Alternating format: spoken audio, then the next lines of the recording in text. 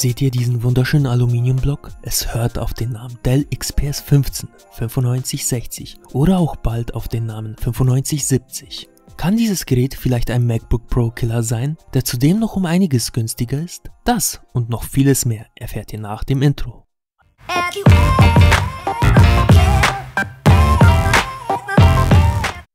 Willkommen beim Techniksalon. Wie ihr aus dem Titel rausgelesen habt, geht es um die Dell Notebooks der XPS-Serie. Denn vielleicht seid ihr gerade auf der Suche nach einem neuen leistungsstarken Premium-Laptop und natürlich habt ihr euch vielleicht auch schon überlegt, ein MacBook Pro zu holen. Aber der Preis wirkt einfach nur abartig für euch. Oder stört euch vielleicht das Betriebssystem Mac OS und sucht genau aus diesen Gründen eine Windows-Alternative. Dann seid ihr hier genau richtig. Da ich dem Notebook Dell XPS 15 einen regelrechten Belastung und Langzeittest unterzogen habe und das Notebook für mein Studium und meine Arbeit im Einsatz war, denke ich, dass ich euch wirklich alles Wissenswertes als auch die positiven und negativen Facetten des Notebooks zeigen kann. Dem Notebook wird ja nachgesagt, dass es der eigentliche Windows-Konkurrent von MacBook Pro ist. Und ich muss sagen, dass sie vom Design sogar ziemlich ähnlich sind. Jedoch ist nur der äußere Bereich aus Aluminium, wogegen das MacBook Pro im Gesamten aus Aluminium besteht. Außerdem muss man sagen, dass es von der Verarbeitung nicht ganz an ein MacBook Pro reicht. Auch die Größen wie Dicke und Breite des Dell XPS kommen nicht ganz an die Konkurrenz an. Trotzdem muss ich sagen, dass es eines der schönsten und schlanksten Windows Notebooks ist. Denn das Notebook misst eine Breite von 357 mm und eine Höhe von 17 mm und passt somit locker in jeder Handtasche. Mit einem Gewicht von ca. 2 Kilo ist das Notebook auch nicht sonderlich schwer. Im Dell XPS haben wir eine Chiclet-Tastatur mit Hintergrundbeleuchtung verbaut. Dies erleichtert vor allem in dunklen Räumen die Arbeit. Außerdem kann man zur Tastatur sagen, dass sie sich sehr gut anfühlt. Die Druckpunkte sind sehr feinfühlig und benötigen nicht viel Druck. Außerdem haben wir hier ein Präzisions-Touchpad, welches sehr sensibel und präzise funktioniert. Meistens hatten die MacBook Pros bis jetzt die besten Touchpads von allen Notebooks. Dagegen schmierten Windows Notebooks bis jetzt immer ab. Doch das Dell Notebook macht in dieser Disziplin wirklich Konkurrenz.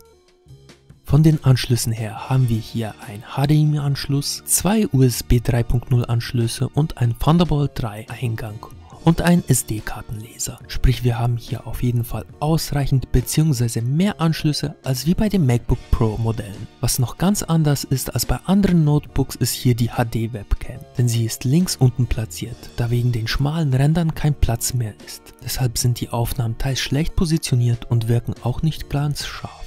Auf der Unterseite des Notebooks haben wir noch eine kleine Abdeckplatte, unter der sich alle relevanten Daten des Notebooks befinden. Zusätzlich haben wir hier zwei länglich angeordnete Gummistreifen, die das Notebook rutschfest machen. Auf der unteren Kante sind die Lautsprecher verbaut. Leider muss ich hier sagen, dass die Lautsprecher nicht ganz so gut sind. Zum einen sind sie leise und nicht kraftvoll genug. Auf der rechten Seite haben wir einen kleinen Knopf. Wenn wir auf den draufdrücken, wird uns der Akkustand anhand 5 Dioden gezeigt. Wenn man das Notebook irgendwo in der Tasche hat oder ausgeschaltet im eingeklappten Zustand hat, kann man so schnell nachvollziehen, ob man noch Saft hat oder nicht. Dies kann manchmal viel Ärger im Vollfeld ersparen. Im Allgemeinen ist zu sagen, dass einige Ultrabooks sogar noch dünner und leichter sind, jedoch haben die meisten von denen dann nicht die entsprechende Leistung. Wo wir auch schon zu den technischen Daten kommen. Denn die meisten ultradünnen Notebooks haben meist nur eine Nvidia Grafikkarte verbaut. Vor allem wenn man sich ein kleineres Modell wie einen 13 oder 14 Zoller zulegen will. Leider muss ich sagen, dass ich mit einer Nvidia mich nicht zufrieden geben konnte, da ich neben den normalen Office-Programmen außerdem noch rechenaufwendige Schnittprogramme und Bildbearbeitungsprogramme benutze. Denn in meinem Modell, nämlich dem XPS 159560 aus der 2017er Reihe, haben wir eine GeForce GTX 1050 mit einem separaten Arbeitsspeicher von 4 GB verbaut. Natürlich kann man diese GTX nicht mit den großen GTX 1050 Grafikkarten vergleichen, die meist hergenommen werden, um seinen PC aufzurüsten. Aber die Benchmarks sind auf jeden Fall in Ordnung. Spiele in 1080p und 60 FPS stellen meistens kein Problem dar. Bei den ganz neuen grafikaufwendigen Spielen muss man leider schon ab und zu mal mit der Auflösung und den Frames rumspielen, um ein flüssiges Bild zu gewährleisten.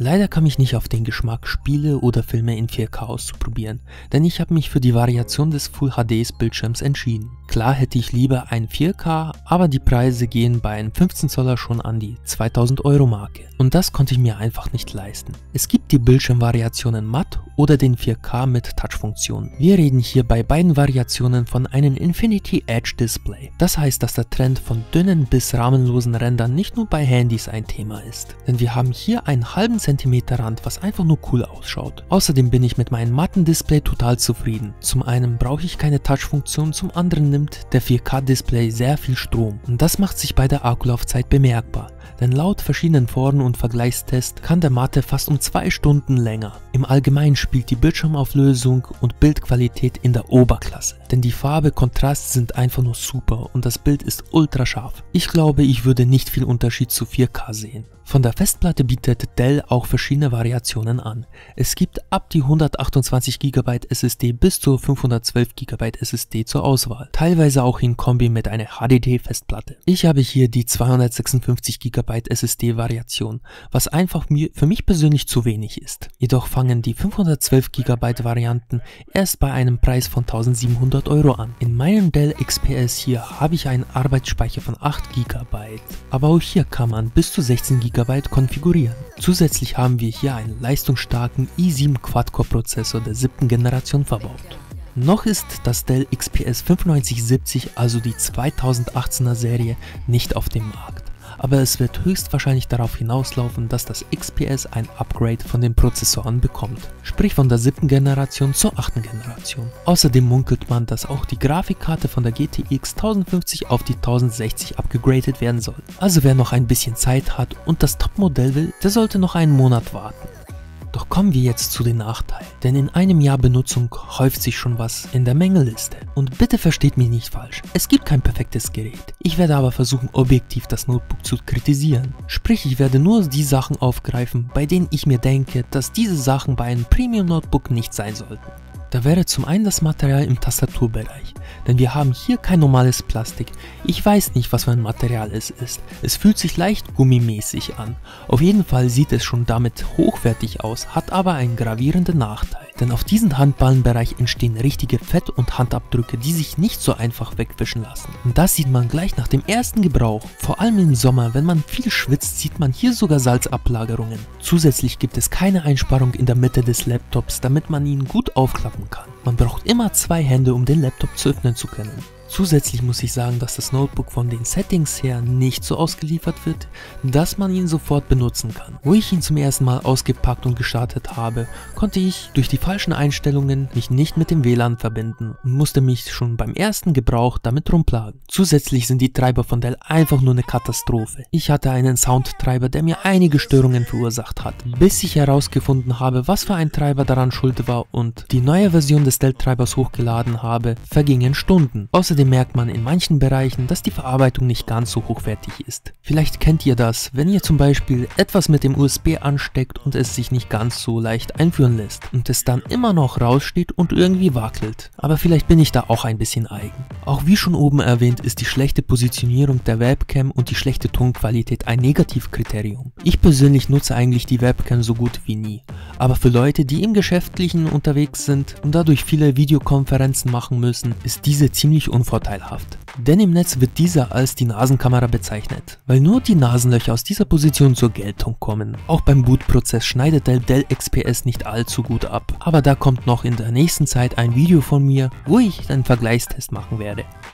So, was ist jetzt mein endgültiges Fazit zum Dell XPS 15 Notebook? Auch wenn es schon einige Negativkriterien am Dell Notebook auszusetzen habe, finde ich, dass es mir trotzdem gut gedient hat. Denn ich hatte es so gut wie jeden Tag in Betrieb. Es wurde von mir täglich mitgeschleppt, in die Arbeit und im Studium benutzt. Und es gab eigentlich so gut wie keine Probleme mit irgendwelchen Programmen oder Anwendungen. Klar, der interne Speicher von 256 GB war in kürzester Zeit aufgebraucht und ich hatte Plagen, immer täglich Speicher frei zu machen. Sprich, ich kann dringendst empfehlen, die 512 GB Variante zu nehmen. Natürlich Natürlich können bei diesen Problemen auch externe SSD-Festplatten Abhilfe verschaffen. Das Arbeiten an diesem Notebook hat mir durch die gute Tastatur und das präzise Touchpad und den super scharfen Bildschirm Spaß gemacht. Auch eines der größten Kriterien, wieso ich ausgerechnet dieses Notebook ausgesucht habe, war auch, dass die Kompatibilität mit der Leistung einfach übereinstimmten. Denn mir persönlich war es wichtig, einen richtig handlichen und leichten Laptop zu haben, mit dem ich trotzdem so gut wie alles machen kann. Denn die 4 Kilo Gaming-Kisten kämen für mich nicht in Frage. Außerdem haben große leistungsstarke Gaming-Notebooks meist eine sehr geringe Akkulaufzeit, die mir ebenfalls sehr wichtig war. Mit diesem Notebook kann ich fast 5 bis ca. 8 Stunden arbeiten, je nach Anwendungen und Akku-Einstellungen. Und das Design beim XPS ist natürlich auch nicht zu verachten. Natürlich liest man auch in verschiedenen Foren, dass Dell mit einem oder anderen Problem immer noch zu kämpfen hat. Aber im Laufe 2018 soll das XPS-Modell 9570 rauskommen. Und natürlich sind jedes Jahr die Modelle überarbeitet. Sprich, es ist zu hoffen, dass einige Mängel behoben werden, um ein noch besseres Premium-Laptop auf den Markt zu bringen. Denn ich kann nur abschließend sagen, dass dieses zumindest eine Überlegung wert ist, wenn man auf der Suche nach einem Premium-Laptop ist. Doch da war doch noch die eine Frage, bevor ich Schluss mache. Ist der Dell XPS 15 jetzt eigentlich ein MacBook Pro Killer?